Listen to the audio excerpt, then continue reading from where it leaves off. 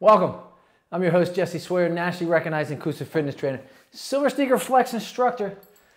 You can find out more about me. Visit my website at www.jesseswoyer.com.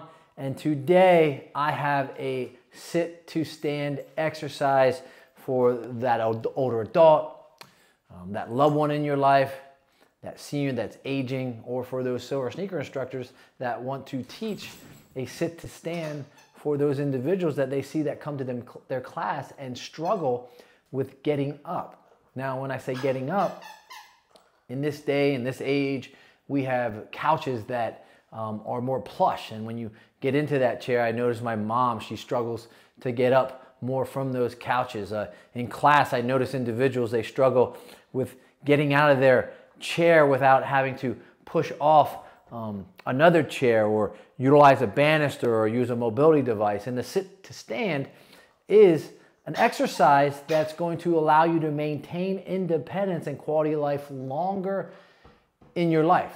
And it is probably the number one reasons why individuals use or lose uh, their independence and have to use some form of assisted living as they age is because they lose that mobility. They lose that strength. They lose that balance. So sit to stand exercise with Bentley interrupting me as usual.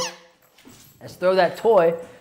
I'm going to grab a kitchen chair. I'm going to grab a lower table. If I'm at PT, I'm going to utilize their stretching table. And as you can see, Bentley has a problem of jumping up on these chairs and going after our food at times as well.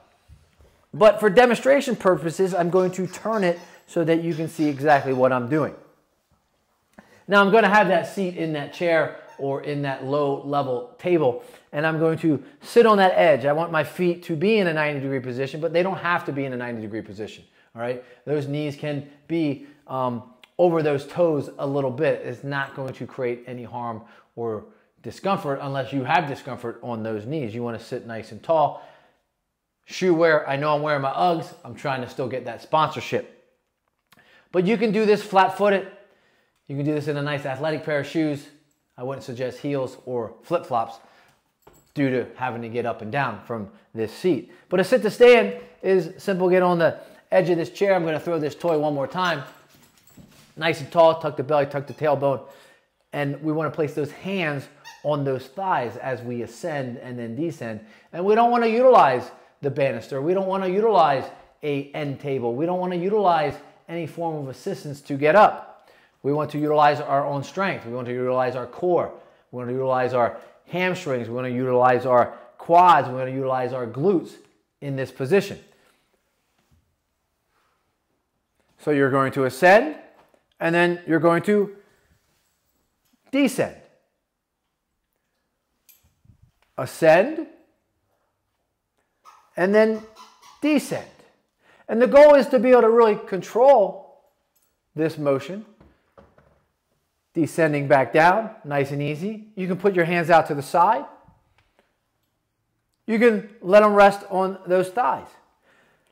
But the real key is for those back of the knees not to touch that chair or that lower table because that's going to give you greater support. And we're trying to remove that support. We want you to utilize the hamstring, the quads, the glutes, the, the core, the spina rectus to be able to get up without any form of assistance.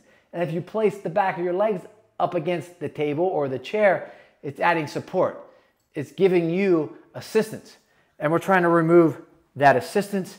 And by removing that assistance, it's going to allow you to stay away from those assistant living places as you age. If you want to make this a little harder, add a weight, add a dog, add a grandchild, and it's going to increase the intensity. But for starters, choose a number of sets and work on ascending and descending in a controlled position and subscribe to this channel. Peace, my friend.